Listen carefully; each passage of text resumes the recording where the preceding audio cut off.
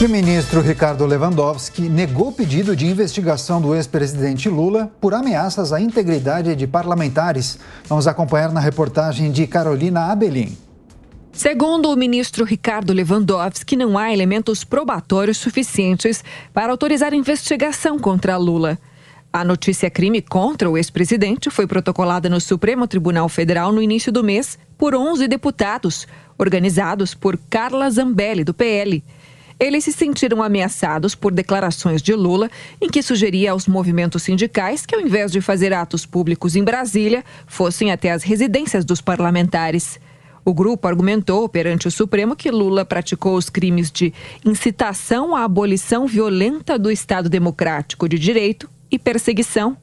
Eles também queriam que o petista fosse obrigado a manter distância mínima de 300 metros dos parlamentares e suas residências. O Partido dos Trabalhadores e Lula também são protagonistas de outra ação judicial, mas não no STF, sim na Vara Civil de Brasília.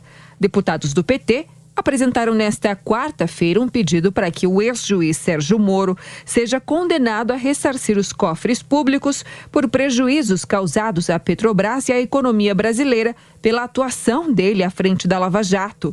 O pedido não determina um valor específico. O argumento é de que a alegada atuação viciada de Moro tenha resultado em excessos e abusos, gerando perdas e danos e um cenário de desarranjo econômico de alto custo social.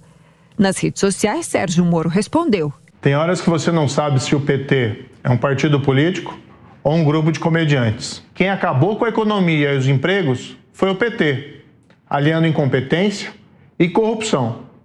A Lava Jato impediu que a Petrobras quebrasse e permitiu que ela recuperasse mais de 6 bilhões de reais.